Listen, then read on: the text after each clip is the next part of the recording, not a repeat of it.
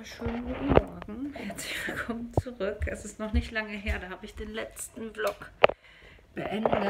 Äh, ich bereite hier gerade alles vor. Ich muss gerade meine Brille putzen. Ich habe nämlich gleich einen Termin beim Zahnarzt. Und da freue ich mich nicht drauf, aber es nutzt ja nichts. Das wissen wir alle. Und ich muss auch unbedingt nach Filmen, da habe ich auch einen Termin gemacht. Also jetzt nicht heute, sondern einen anderen Tag, weil wer das wohl war. also die Gläser sind noch in Ordnung, weil das ist ja richtiges Glas zum, also was heißt zum Glück, ne? wir haben Glück gehabt, dass Smurfy da nicht Scherben im Schnäuzchen hatte. Ja, und die ist auch versichert, die Brille, und die war auch nicht teuer. Ähm, was heißt nicht teuer? Also es gibt ja Brillen, die kosten so 600 Euro oder so und die hat 75 Euro gekostet. Also es ist ärgerlich, aber es ist jetzt nicht so ein großer Schaden wie normal Brillen sind, wenn sie kaputt sind. Und Bernd ist schon weg. Der hat den Smurfy schon mitgenommen und der hat das ganze Auto voll wieder mit Zeug, alles, was hier weg muss, was äh, zum Laden muss oder zum Haus. Also ihr habt uns ja gesehen die letzten Tage, wie wir nur gerödelt haben. Und gestern Abend hatte ich ja dann auch vermehrt Übungswehen und ähm, ja, habe mich dann geschont. Und heute sind wir den ganzen Tag auf der Arbeit. Und ich freue mich darauf, weil das ist so entspannend. Da muss man nicht körperlich was machen. Und heute habe ich mir so das weiße Oberteil angezogen. Und irgendwie, der wächst jeden Tag jetzt, der Bauch. Also der wird jeden Tag größer. Unglaublich. Wundert euch nicht, dass ich hier überall Rollos runtergemacht habe. Es ist nämlich wieder warm geworden. Und ähm, damit es hier in der Wohnung nicht so warm wird, weil wir haben jetzt noch 23 Grad, ähm, ja, habe ich die Rollos runter gemacht. Und ich habe ja jetzt eine Jeans an, weil jetzt ist es noch relativ kühl. Und dann nehme ich mir meinen Rock mit. Und meine Flipflops nehme ich auch mit, weil nachher wird es warm. Und ich hasse es zu schwitzen. Ne? Ich hasse es. Dann kriege ich auch so Kreislaufprobleme. Aber ich glaube, es ist ja jetzt nicht mehr so die Hitze, wie es war, als es so 40 Grad war. Ne? Ja. So, ich bin fertig beim Zahnarzt. Ähm, es hat länger gedauert, als ich dachte und das Problem ist auch größer, als ich dachte. Mal eben einsteigen. So, also, wir waren den einen Abend noch beim Griechen essen, habe ich euch erzählt. Und ich habe Pommes gegessen und mir ist ein Stück von der Krone abgeknackt. Die habe ich ja letztes Jahr erst neu bekommen. Oh, und ähm, ja, so, es war halt ab. Gut, kann man nichts machen. Es, man hat das jetzt noch nicht so, das war halt hinten. So, hat man nichts gesehen. Aber jetzt ähm, hat die halt Abdrücke genommen und keine Ahnung alles. Und jetzt ist halt vorne, ja, jetzt vlogge ich halt so weiter, bis ich das wieder alles fertig habe. Ähm, ja, diese Mundschutzsituation ist ja dann dafür ganz praktisch im Moment. ähm, wichtig ist mir halt immer, dass ich die Nase frei habe, weil ich kriege echt schlecht Luft, wenn die da drunter sind. Dann habe ich sofort das Gefühl, dass ich so ähm, Atemnot habe. Ja, das ist jetzt ein bisschen doof, vor allem weil ich halt ja Videos mache und ohne, also ich habe Zähne oben drin, aber es sieht halt doof aus, wenn da einer so kacke aussieht. Und deswegen mit äh, Mundschutz, Mann, ey. Ja, oder ich vlog halt nicht. Ich weiß aber auch nicht, wie lange das dauert, bis ich die, dieses Ding da wieder fertig habe. Ich schätze mal Ende der Woche. Ich weiß es nicht. Ja, es nutzt nichts. Müsst ihr so mit mir vorlieb nehmen ich vlogge zu gerne, als dass ich jetzt sagen könnte, ich vlog jetzt eine Woche nicht oder so. Ja, das Positive, was aber passiert ist, ich hatte vor dem Zahnarzttermin noch etwas Zeit ähm, und ich war bei Family und ich habe mir Babysachen angeguckt. Oh Gott, und das habe ich ja bis jetzt noch nicht gemacht, extra weil ich weiß, wenn ich damit, oh, sorry, wenn ich damit anfange, dann will ich die auch kaufen. Mein Handy vibriert die ganze Zeit. Äh, ja, dann will ich die auch kaufen. Ne? Und wir haben ja gesagt, wir kaufen erst Babysachen, wenn das neue Haus fertig ist und wir halt Weil jetzt würde ich es alles mit in die Wohnung nehmen und dann müssen wir es halt nur rüberschleppen. Wir haben noch nichts gekauft, immer noch. Gar nichts fürs Baby. Und wir wissen auch immer noch nicht, ob es ein Mädchen oder Junge wird. Und wir möchten das auch bis zur Geburt nicht wissen. Von daher würde ich eh nicht viel kaufen. Ne? Aber gerade war ich kurz davor, einen total unvorteilhaften Strampler zu holen, weil der so schön war. Der war so süß, der war grau und mit Sterne und so. Oh, den hätte ich so gerne mitgenommen. Ah, ich stehe ja total auf so selbstgenähte Dinger, ne? Kennt ihr die bestimmt aus dem Internet? Die sind so schön, aber ich kann nicht nähen. Aber die sind so schön, diese Pumphosen und dann so schöne bunte Stoffe. Also die sind ja dann auch total geschlechtsneutral. Ja, mal gucken. Ähm, ich muss mich echt, musste mich echt zusammenreißen, nichts zu kaufen. Und Mädchensachen, das habe ich ja schon, als damals Calvino klein war, habe ich immer vor den Mädchenregalen gestanden und habe gedacht, boah, so viele Sachen gibt es für Mädchen. Und für Jungs gibt es immer nur so so ein paar Sachen. Also so, ja, blau, grau, blau, schwarz. Und für Mädchen ist halt Glitzer und rosa und Rüschen und Spitze und voll süß. Ja, naja. Ich habe nichts gekauft. Ich war ganz tapfer. Und jetzt fahre ich mal zum Bernd. Der wartet nämlich schon auf mich auf der Arbeit mit dem Smurfy. Und ja, bis gleich. Und wir sitzen ja bestimmt gleich draußen, oder?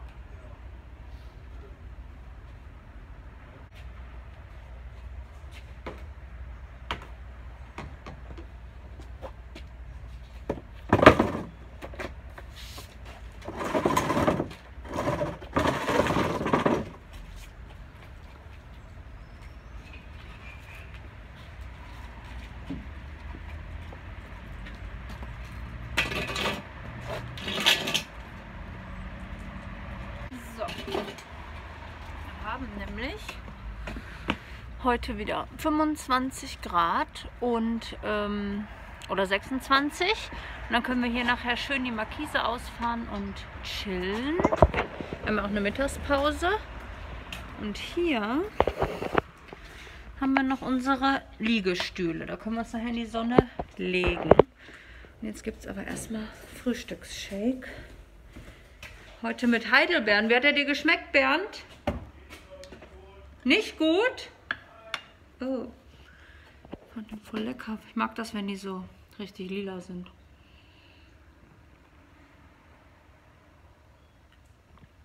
Und mir ist schon ein paar Mal aufgefallen, wenn ich dann vlogge, dass ich hier Ränder habe von meinem Shake. Voll peinlich. Ich habe meine alten Schlören hier mitgenommen. Die gehen schon so langsam kaputt. Aber für jetzt tun die es noch, für die zwei, drei Tage, die noch warm sind. Weil, wenn wir umziehen, dann schmeiße ich die einfach weg und dann muss ich nichts mitschleppen. So, nächstes Jahr kaufe ich mir neue. So, ich habe mir ganz viel Arbeit mitgenommen heute. Also was heißt ganz viel? Ich muss noch ein Video schneiden, das von gestern. Das habe ich noch nicht geschnitten. So. Kopfhörer brauche ich dafür. Und, ich weiß nicht, ich glaube, das habe ich euch noch nie erzählt, dass ich mal ein Bullet Journal angefangen habe. Und ja, das wollte ich jetzt ein bisschen weiterführen. Kennt ihr das überhaupt? Das ist halt wie so ein Kalender, den man selber gestalten kann. Der ist jetzt halt vom letzten Jahr, aber weil ich noch nicht so viel reingemacht habe, reingeschrieben habe, kann ich den dieses Jahr auch noch verwenden. Ja. So sieht das dann aus. Und die kann man sich halt ganz individuell gestalten. Was kann ich euch denn für eine Seite zeigen, wo keine vertraulichen Informationen sind? Ach, hier zum Beispiel habe ich mir so ein Cleaning Schedule gemacht, wo man halt Sachen, die man täglich macht, wöchentlich macht oder jährlich. Aber ich habe das dann irgendwann so aus den Augen verloren. Und jetzt wollte ich wieder anfangen. Hier ist sowas, weil wir schreiben ja jede Woche auch immer einen Menüplan. Da hatte ich dann mit angefangen, Woche für Woche sowas zu machen. Nur das ist schon echt zeitaufwendig, wenn man das jede Woche machen möchte. Und das habe ich festgestellt, das ist nichts für mich. Das führe ich dann nicht zu Ende. Ähm, ich habe halt einen Geburtstagskalender gemacht. Das finde ich ganz praktisch. Vor allem einen, den ich jedes Jahr benutzen kann. So, da steht jetzt halt nur Calvino drin, deswegen kann ich euch den zeigen für September. Dann habe ich halt immer vier Monate auf zwei Seiten gemacht. Und weil ich gemerkt habe, das ist nichts für mich, dieses wöchentliche Dingsbums. Deswegen habe ich das jetzt so gemacht. Also das ist der Oktober und das ist der November und ich weiß jetzt schon, dass das liegt mir besser, wenn das so untereinander ist als dieses Kästchen-Ding. Ja, da muss man da nicht jede Woche dran sitzen, sondern einfach nur die Termine eintragen. Ja, und das sind meine ganzen Stifte dafür. Das sind extra so, also einige, ist mir wie aus, aus, ah,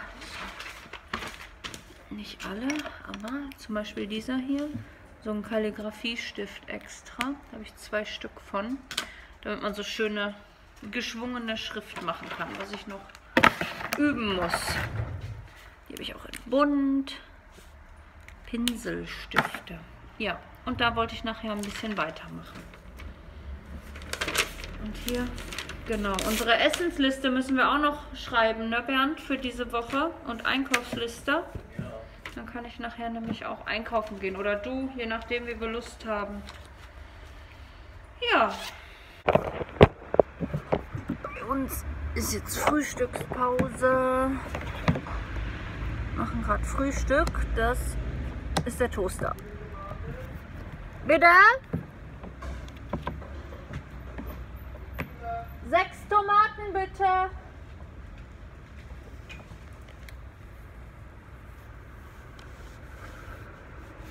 Ich habe immer diese Schwangerschafts- Unterhosen an und dann sieht man immer den Streifen. Das sieht total hässlich aus.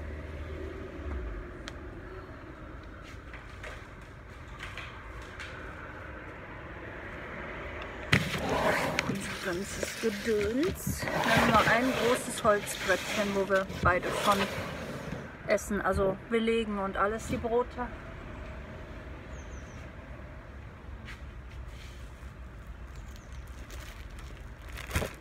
Toast.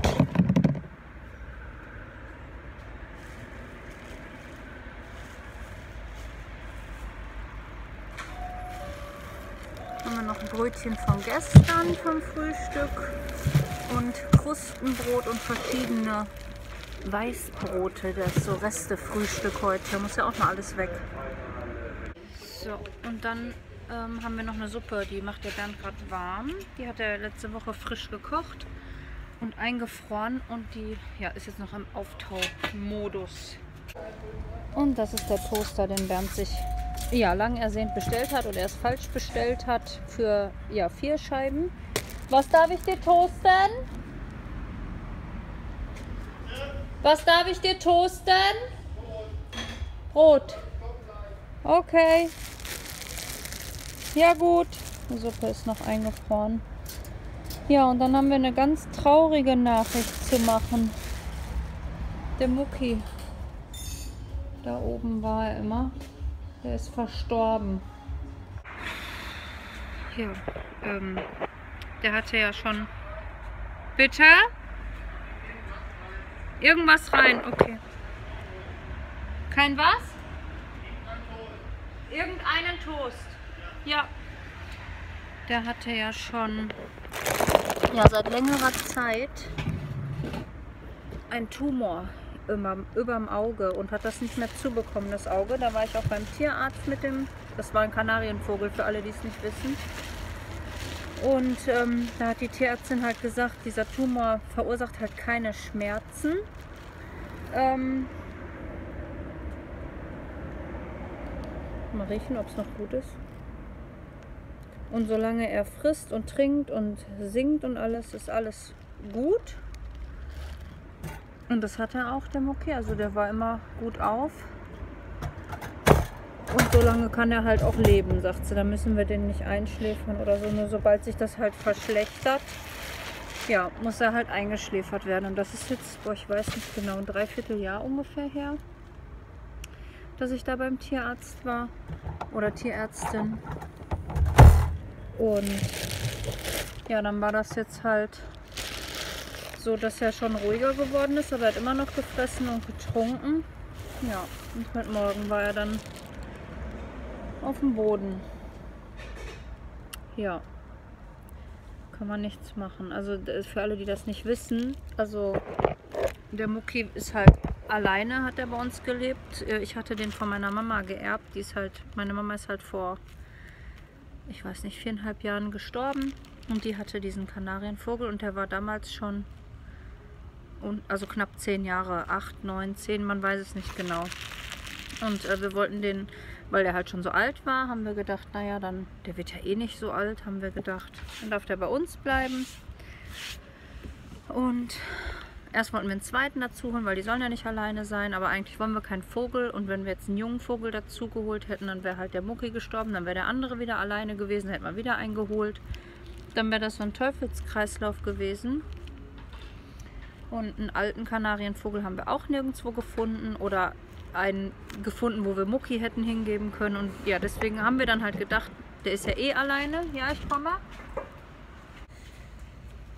Dann haben wir gesagt, also der wird ja jetzt nicht mehr so lange leben. Dann kann der halt in seinem kleinen Käfig bei uns bleiben, bis er halt nicht mehr ist. Ja, und jetzt war er dann doch nun viereinhalb Jahre noch bei uns. Aber das wusste man ja halt vorher nicht. Und jetzt hat er es geschafft für ihn ja, ist endlich dieses trostlose Leben im Käfig alleine zu Ende. Das ist ja auch schön für ihn am Ende. Aber trotzdem denke ich so ein bisschen an meine Mama halt. Ne? Das, der hat mich halt immer erinnert an meine Mama.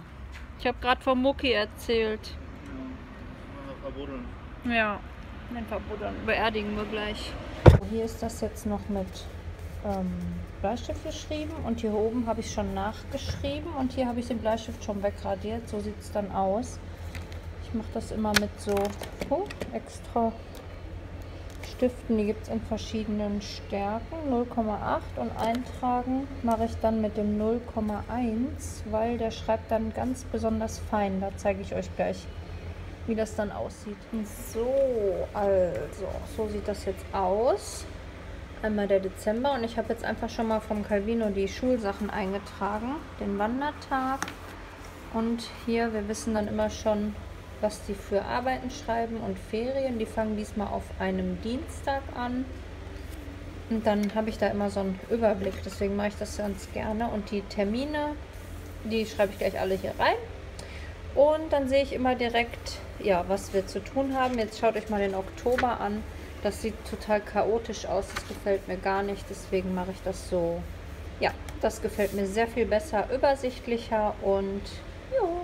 Achso, und warum ich das überhaupt mache, dass ich das wieder hier anfange. Ich habe ja ab nächstes Jahr keinen Kalender mehr hier von der Arbeit, weil ich ja erstmal keine Nageltermine mehr habe. Und deswegen fange ich das wieder an, damit ich halt ja, einen individuellen Kalender habe für alle unsere Termine, die immer so anfallen.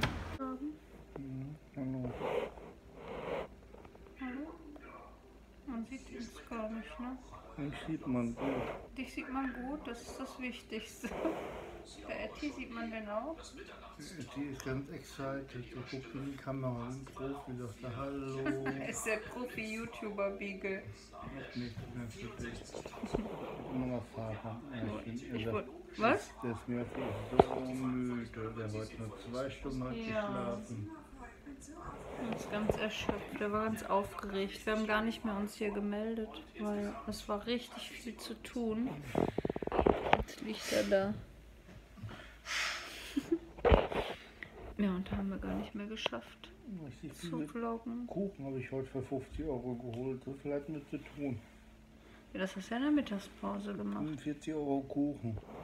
Ja. 18 Kilo. Wir holen immer, wir haben hier so ein... Mutti. Wir haben so einen Laden um der Ecke, da haben die Tiefkühlsachen. Und da kaufen wir mal so Bleche Kuchen. Und wenn dann Geburtstage sind oder so, dann tauen wir immer die Stücke nach und nach auf. Dann muss keiner backen. Oder und mal zwischendurch. ja, man halt zum Kuchen mal einlädt. Und das hat der Bernd heute geholt in der Mittagspause. Ja, und jetzt sind wir ganz müde und liegen im Bett und wollen uns eigentlich nur noch verabschieden eben. Ne? Ja. Bis morgen. Tschüss.